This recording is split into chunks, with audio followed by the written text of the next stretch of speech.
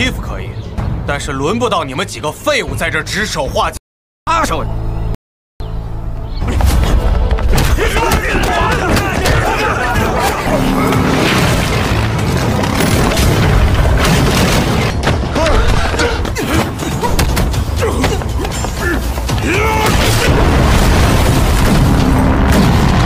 Detektif Chen 2022 Diceritakan bermula polisi Chen Hu melihat sang penjahat wanita yang aduhai diloloskan dari hukuman atas kasusnya. Lalu mereka bertanya-tanya dan ternyata eh ternyata wanita itu sultan sehingga tidak ada yang bisa memenjarakan karena sudah disogok oleh duit. Lalu saat malam pun tiba, datanglah sosok laki-laki bertopeng dengan gagah menggunakan motor Harley. Kita panggil saja dia Bang Black. Di sini dia menyelamatkan laki-laki yang disandra oleh penjahat wanita yang aduhai karena laki-laki ini yang telah melaporkan penjahat ini sampai dia dipukuli dan keluar marjan. Lalu terjadilah perkelahian yang sangat membagongkan. Ternyata Bang Black ini ketemu dengan laki-laki bertopeng jadi Bang Black ini ada dua dan saya bingung yang satu ini siapa. Meskipun mereka berbeda, tetapi tujuannya sama, yaitu untuk mensejahterakan rakyat, eh untuk menyelamatkan.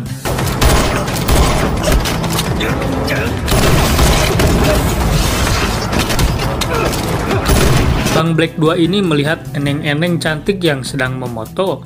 Entah si eneng ini namanya siapa, saya belum tahu. Si Bang Black 2 ini berhasil membawa koper penjahat ini. Dan Bang Black 1 berhasil menyelamatkan neneng foto cantik ini dari tembakan. Sampai si neneng ini baper.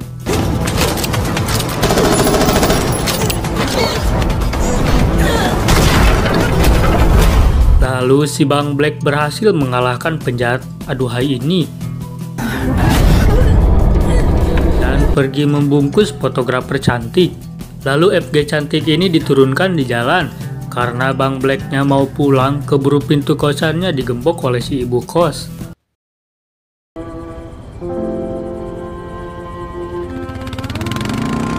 Keesokan harinya, tersebarlah berita tentang kejadian semalam dan suami dari penjahat cantik aduhai itu sampai dendam karena istrinya meninggoy oleh si Bang Black.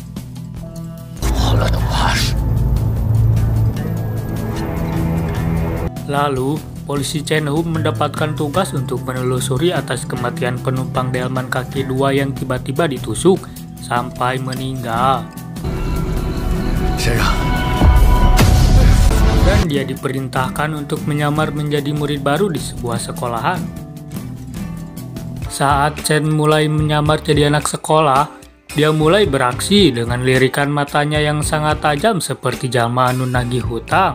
Lalu saat duduk, dia dijaili oleh murid di belakangnya sampai dia dijongkeng dan diketawakan.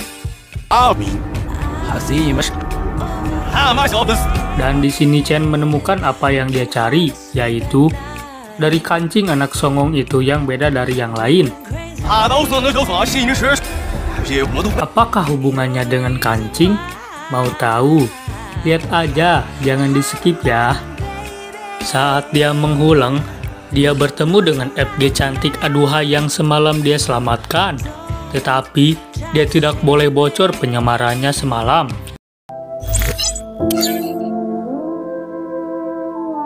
Lalu Chen bertemu dengan Kang Dagang yang sesengor. Dan ternyata, Kang Dagang ini pernah menyelesaikan suatu masalah bareng dengannya. Lalu si Chen diajak tinggal bersama Kang Dagang ini dengan rumah yang sangat mengesankan. Dan ternyata eh ternyata, Kang Dagang ini polisi juga yang sedang menyamar untuk menyelesaikan kasus. Lalu, mereka bercakap-cakap untuk menyelesaikan kasusnya.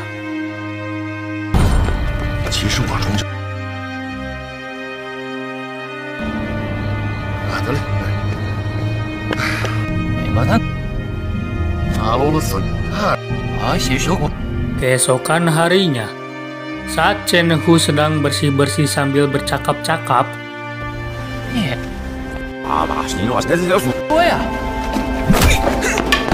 Datanglah si anak koplok ini tiba-tiba menendang sampai Tijong Jolong. Lalu dia ditolong oleh seorang wanita sampai si anak koplok ini hatena cemburu bebeledagan. Keesokan harinya, dia disuruh untuk mengerjakan soal matematika yang menjangarkan. Karena dia tidak bisa mengerjakan, sehingga beberapa kali dia harus keluar. Tetapi eh tetapi, pas di luar, eh malah berkali-kali ketemu dengan teteh aduhai ini. Lalu si Chen dibully di lapang tenis, karena si Chen ternyata mengalahkan kejagoan si anak koplok ini dan dia tidak terima. Alhasil banget si Chen ripuh tepuguh rupa saat menjelaskan kejadian pada komandannya. Saat malam pun tiba, Chen pergi ke tempat hiburan yang isinya wanita di kandang dan banyak minuman. Dia bertujuan untuk bertemu dengan temannya. Saat berbincang-bincang, eh ternyata malah membuat masalah pada bapak-bapak botak badannya buadag kabina-bina sampai terjadi hal yang membagongkan.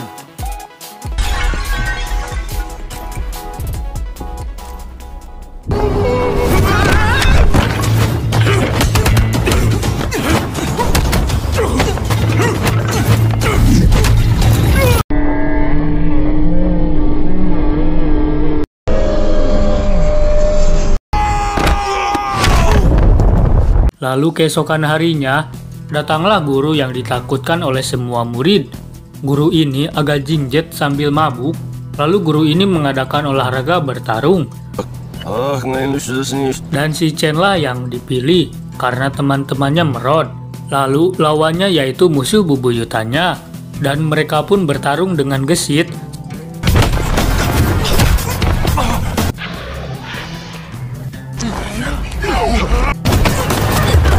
si Chen memenangkannya. Setelah kejadian itu, si Chen jadi disegani dan dia jadi idaman ciwi-ciwi.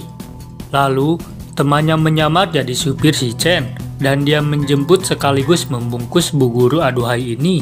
Dan saat masuk, Chen pun kagum dengan rumah yang buadak ini karena dia juga baru melihat dalamnya. Ternyata ternyata, saat mereka bercakap-cakap, Ternyata Bu Guru ini seorang reporter gangster, tetapi karena dia dipecat, sehingga dia jadi guru di sekolahan si Chen. Lalu Chen bimbel pada Bu Guru cantik ini agar otaknya encer saat di sekolahan. Chen auto jadi pintar dan digemari para ciwi-ciwi, sehingga ada kesempatan untuk jadi pak boy. Tetapi eh tetapi, Chen lebih kememet sama si ibu aduhai ini. Di sini, Orang yang pernah dikalahkan oleh si Chen dendam untuk menghajarnya. Lalu keesokan harinya, datanglah besti musuh si Chen yang pernah dikalahkan saat di tempat hiburan. Lalu mereka ribut karena sudah membuat kericuan di sini, sampai mereka semua ngacak-ngacak caduk.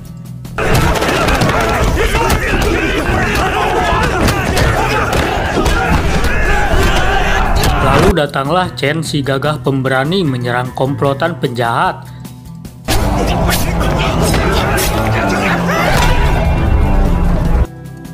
Sampai acak-acak caduk pun berhenti. Lalu saat Chen masuk ke kelas, dia lebih dihormati dan dihargai oleh murid-murid yang awalnya koplok. Sekarang jadi so baik, dan dia mengajak untuk berteman sehingga mereka pun semua membesti. Lalu setelah jam istirahat, Chen mencari Yu Minjin. Dia diberitahu oleh seorang ciwi bahwa Yu Minjin pergi ke ruangan olahraga. Saat Chen sampai, tiba-tiba lampu mati dan terjadi hal yang membagongkan.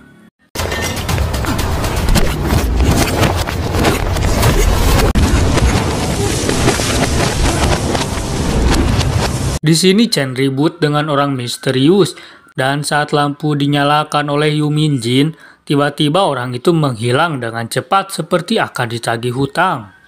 Lalu Chen merundingkan tentang kesimpulan kasus-kasus ini sedikit demi sedikit agar menghasilkan buah yang memuaskan. Lalu Chen menangkap Yumin karena Chen mencurigai dirinya.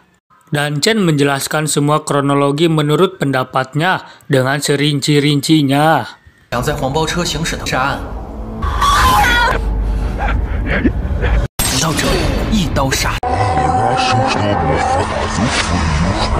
Ternyata dia melakukan pembunuhan karena dia diperkosa lalu membunuhnya. Lalu mencari cara agar dia tidak jadi tersangka dengan melaporkan kasus pemerkosaan. Saat Besti Chen membeli rokok dan dia tidak sengaja mendengar seseorang yang membeli rokok, tetapi menyangkut paut dengan kejadian pembunuhan itu, akhirnya dia ngabret menelpon Chen.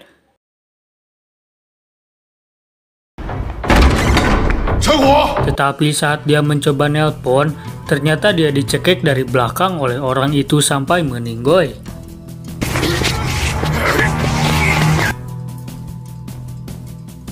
Lalu saat Chen datang, dia mencurigai keadaan. Dan benar saja, ada si koplok yang sedang kopdut tanpa kopi sambil menyandra si teteh cantik. Lalu Chen mencurigai bahwa yang melakukan pembunuhan itu adalah si guru Jingjet. Lalu mereka beradu bacot tentang kejadian pembunuhan itu. Ternyata eh ternyata si Jingjet ini pernah ikut ekspedisi utara, mungkin semacam pelatihan militer ya sahabat Bones, tetapi karena nasibnya tidak sesuai rencana dia, akhirnya dia menghancurkan hidupnya. Dan ternyata benar, pembunuh yang sebenarnya adalah si guru Jingjet ini.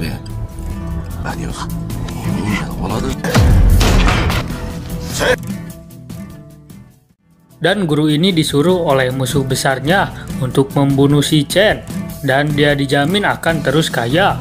Lalu mereka beradu kekuatan di sini, dan hasilnya antara ditangkap atau dibunuh. Ternyata eh ternyata kaki si Jingjet ini sangat kuat dan mereka mengeribut dengan sangat gesit.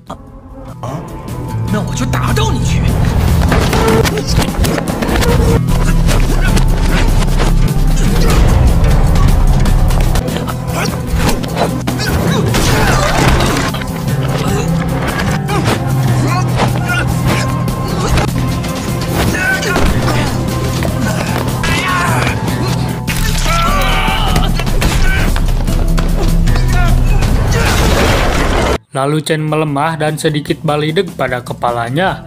Tetapi tidak mungkin menyerah, Chen menusuk kakinya menggunakan kayu. Dan di sini si koplok malah mengeluarkan api untuk membakar si ibu aduhai. Dan ternyata dia langsung melemparkannya.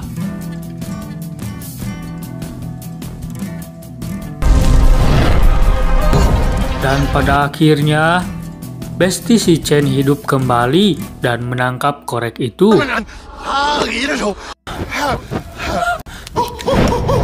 Eh gerasi koplok teh malah murah kita korekna. Di sini auto terjadi api yang membara. Dan Besti si Chen menghadang musuhnya. Dan di sini juga si ibu aduhai mengetahui bahwa pahlawan bertopeng itu si Chen.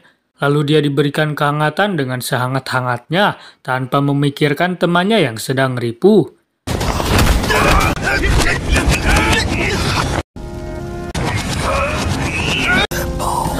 Lalu dua sejoli ini ribut kembali.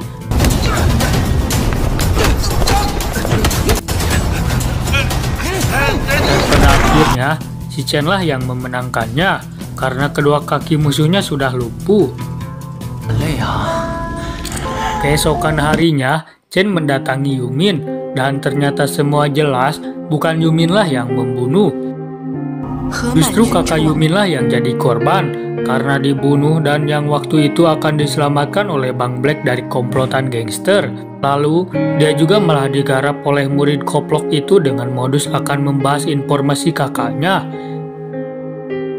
Dan film ini sangat membuat hati saya mengsedih sahabat Bones dan tamat. Kata-kata Madodep hari ini, tetaplah berjuang di jalur kebenaran ya sahabat Bones. Tos welah, like, comment, and subscribe.